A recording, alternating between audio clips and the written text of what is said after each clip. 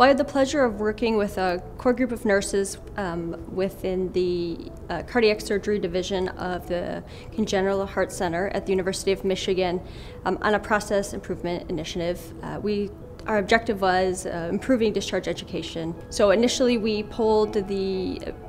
uh, Congenital Heart Center nursing, medical, and administrative staff about their um, experiences with the current discharge education process, and from there developed an initiative. Um, in, you know, with the goal of, uh, like I said, overall improving the, the education process. The initiative had, had several facets, but the initial focus was on the timing of discharge education, and so um, in this we were uh, we worked to um,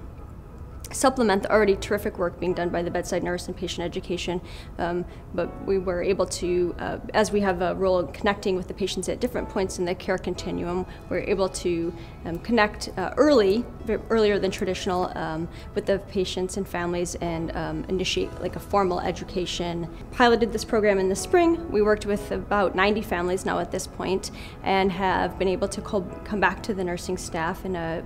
do a post intervention assessment, and we found that in collaborating with the nurses. Um,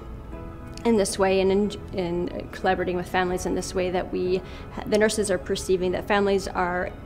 able to engage um, in patient education earlier in their stay or become actually actively engaged in their education earlier in the stay, which um, allows for greater skills mastery and also allows for, um, we hope, better discharge preparedness. From here, we'd like to pull the families on their experiences and seeing how, you know, get a better look at how they're feeling as they approach discharge, and um, also to continue to build on that relationship with the bedside nurse and uh, continue to collaborate to further refine the education um, practices.